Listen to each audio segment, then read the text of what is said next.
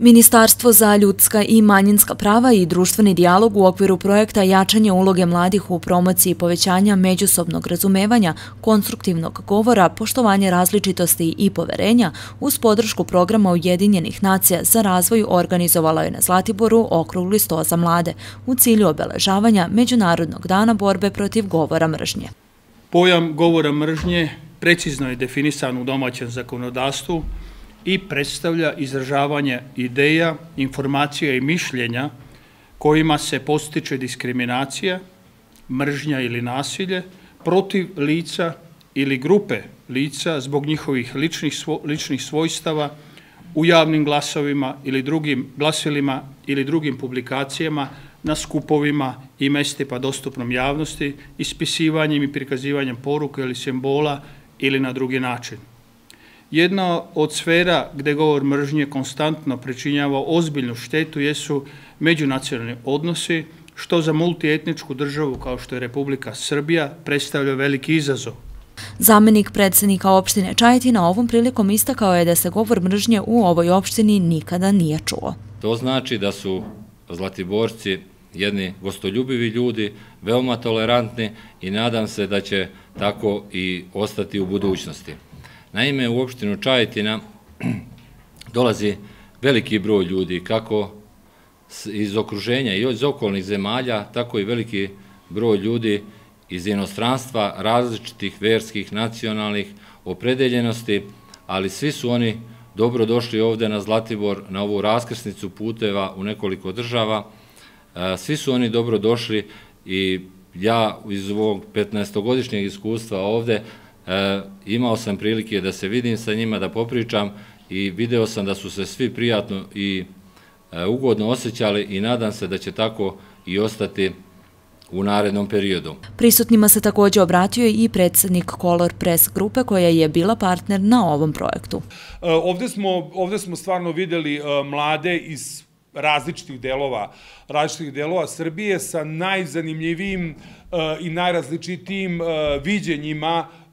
ovog pitanja i, i prosto u atmosferi u vremenu u kojem živimo, svi prosto pratimo, ne možemo da kažemo da, da, da ne vidimo šta se dešava i u društvu i na koji način je, moram da kažem, govor mržnje često prisutan i na najvišim institucijama kao što je naš uh, parlament, kao što su naši mediji, čak i mediji sa nacionalnim frekvencijama, frekvencijama zaista je dragoceno da imamo uh, ovakve stvari i da je ministarstvo, je tako, kao deo vlade Republike Srbije pokazalo taj nivo svesti da ovu temu upravo ovako uh, aktivno izbaci u prvi plan, da je, da je distribuira kroz medije, da o tome razgovaramo. Nakon završetka seminara, učesnici okruglog stola izneli su pre svega svoje iskustva, ali i svoje zaključke, stavove i poruke. Nažalost, kao jedna od e, mnogih žrtava internet nasilja, imala sam priliku da se suočim sa raznim e, zdravstvenim problemima i psihičkim problemima kao osoba koja stoji iza jedne strane ekrana i čita ružne stvari o sebi i e, sluša šta drugi ljudi pričaju o njoj. I kao jedna od žrtava internet nasilja rešila sam da e, doprinesem svim e, mladim devojkama i mladim muškarcima da shvate da nisu sami i da kada žele nešto da pokrenu i da pobede, da je sve u njihovim rukama i da to mogu. Ja kao aktivista sam se isto susreo sa diskriminacijom i govorom mržnje i sa nasilnikom sam radio već pet godina da se poboljša. Naravno, to je urodilo plodom i sad je skroz drugačija i priča. On je jako srećnija osoba, razume šta je uradio i veliku poruku šaljem da sa nasilnicima treba da se radi. Kao što se može vidjeti, ja sam predstavnica bošnjačkog naroda koja sa sobom gde god krene nosi i verska, ali i kulturna obeležja i kao takva sam nailazila na puno diskriminacija, ali i govora mržnje, kako na društvenim mrežama, tako i uživo.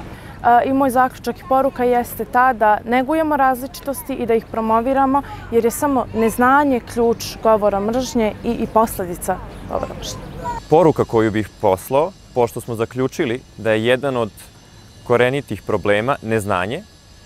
kako bismo se osvestili i jednostavno dublje zašli u tu temu, smatram da pre svega roditelji moraju više pažnje da posvete svoje deci, ali isto tako da se i oni edukuju, jer na taj način deca će videti od njih i moći će isto to što lepo nauče od roditelja primeniti zajedno sa njihovim vršnjacima. Zajednička poruka kako učesnika, tako i organizatora okruglog stola jeste poziv za sve relevantne aktere da povećaju napore na suzbijanju svih oblika govora mržnje.